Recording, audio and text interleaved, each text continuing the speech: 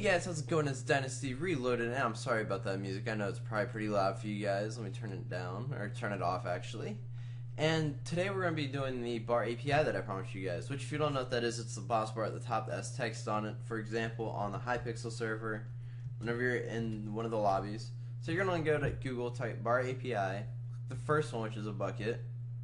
Yeah, that at the top, or you should, and then just download it. So pretty much you can showing you examples of the coding that you can do here. Um, let's see. They're all self-explanatory, it says, so I've already done this plenty of times. So we're going to start with the um, file we made yesterday. So, instead of having command label here, just change it to label lowercase. And what that's going to do, you're going to have to change this one too. And we're going to change the command to um, show bar 2. And what that's going to do, it's going to make it so where, well, actually, it's because I have two different things set up, so if I don't, then it's going to screw up. So, bar API dot set message, and then you're going to want to click either one of these two, player, string, and then float or integer. So we're going to do float just for this tutorial. So you're going to do, um, okay, I don't know what happened there. Clicked on something else, I guess. Player sender, and you don't need a, um, another bracket after this because it's going to everything, not just it.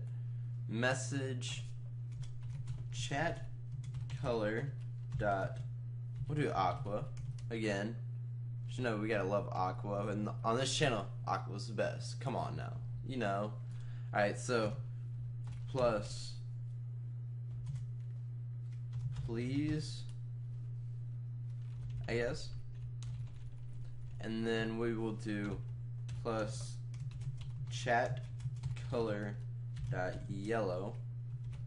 It'll automatically load in for yellow because there's nothing else that starts with the Y or another color that starts with the Y. So plus subscribe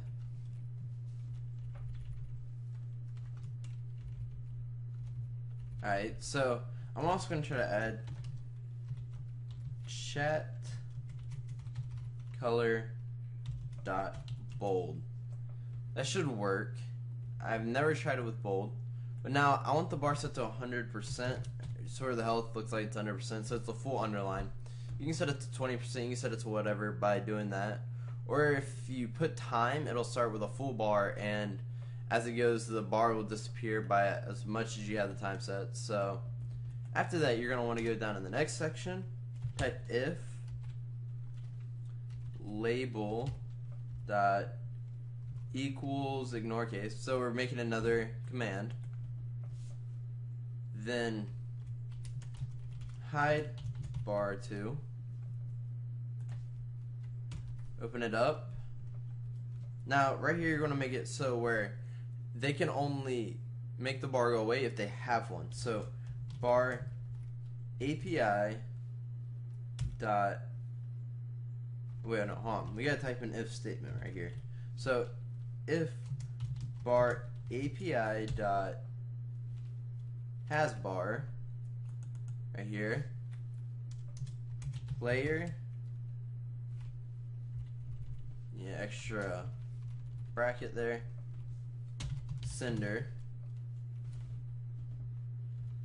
And then after you have that, that pretty much is done for that little section. It's just saying if they have a bar, then bar API dot remove bar then the same thing. Player. Oops. Sender. And that'll close out that little thing. So now close that out like that and this will close it automatically this will close that one and it's all good so now you have it so whenever you type in show me the bar here let's change this to ah Alright, screw it. The bar has been shown. Oh.